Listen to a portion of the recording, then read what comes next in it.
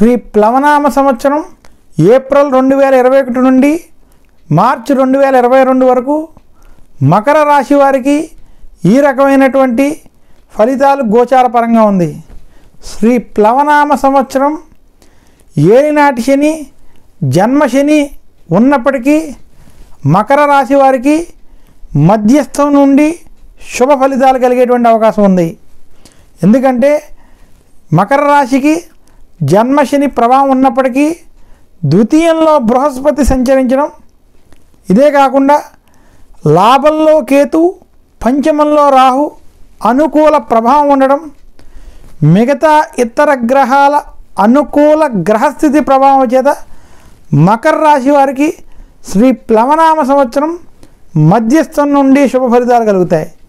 మకర రాశి వారు ఏలినాటి శని ప్రభావం చేత గత కొంతకాలంగా కుటుంబ వ్యవహారాల్లో ఆర్థిక వ్యవహారాల్లో అనేక ఇబ్బందులు పడుతున్నప్పటికీ శ్రీ ప్లవనామ సంవత్సరం వాటిని తట్టుకుని మీ యొక్క స్వశక్తితో మీ తెలివితేటలతో కుటుంబంలో ఉన్నటువంటి అనేక రాజకీయాల నుండి బయటకు వచ్చి కొంత మీరు విజయం వైపు వెళ్ళేటువంటి అవకాశం స్పష్టంగా ఉంది.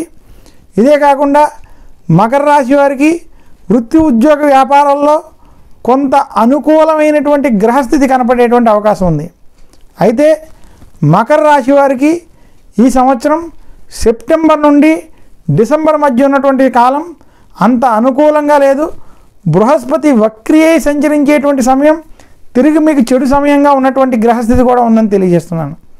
మొత్తం మీద మకర రాశి వారికి శ్రీ ప్లవనామ సంవత్సరంలో ఈ రకమైనటువంటి ఫలితాలు ఉన్నాయి మకర రాశి రాజకీయ నాయకులకి చెడు సమయం మకర రాశి వ్యాపారస్తులకి అనుకూలమైనటువంటి సమయం.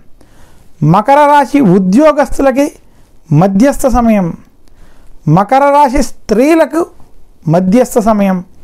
మకర రాశి విద్యార్థులకి ఇది చెడు సమయం. అలాగే మకర రాశి రైతులకి సినీ రంగంలో ఉన్నటువంటి వారికి మధ్యస్థ సమయం. మొత్తం మీద మకర రాశి వారికి శ్రీ ప్లవనామ సంవత్సరం మధ్యస్థం నుండి చెడు ఫలితాలు కలిగేటువంటి అవకాశం స్పష్టంగా కనబడుతుందని తెలియజేస్తున్నాను.